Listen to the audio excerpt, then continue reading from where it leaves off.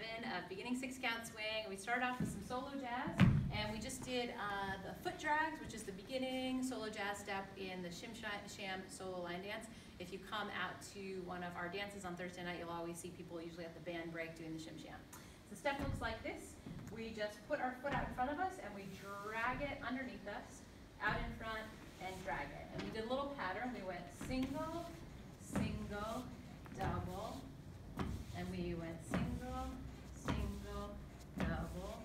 And you can just sort of continue that pattern. At the Shim Sham, we just do it three times, but you can continue that pattern to practice it. And then we did some partner dancing, and we added in some bonus material tonight.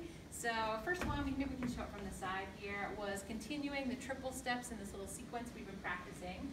So here, Zane can just continue tripling down the line here and then releasing whenever he's nice little traveling step and a good variation to get follows, listening just a little more to what's happening there and not always assuming that we're gonna turn. And then we did, Arm drape. oh yeah, the arm drape. We did this move, looks like this. Rock, step, triple step, triple, and rock, step, triple step, triple. So here, um, again, a good opportunity for follows to not always assume that that arm's gonna go up. It looks very similar to that move that the arm goes up, right, and Zane comes around. But instead of always assuming the arm's going up here, um, I wanna just keep my arm nice and relaxed, and then he may decide to just drape it there. The move feels very similar to, um, a cuddle or a tuck turn, really. We're coming in to the side, and then this exit feels like this, out and in and around. And then we added uh, an open tuck turn. So we haven't done a lot of stuff from this two-hand position, and that turn looks like this. We've got this out and in and around.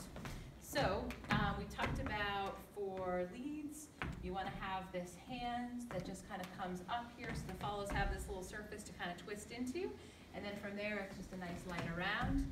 And follows, don't be shy about actually putting all of your energy in there to that turn. So that way you can actually, um, you're not just leading yourself through the turn, but you're feeling all that compressive energy there. So it says compression, and that's what helps you to turn. Um, I think that's about it. You guys did a fantastic job. Anything to add for now? Uh, maybe just the arm drape. Uh, I think Oh, we, yeah. we talked about absorbing the, uh, the Mm. momentum of the follow and traveling back with them Yeah. right into that rock step. Awesome. Great. That's it. That's it. Nice Thanks. job. Thanks, Rob.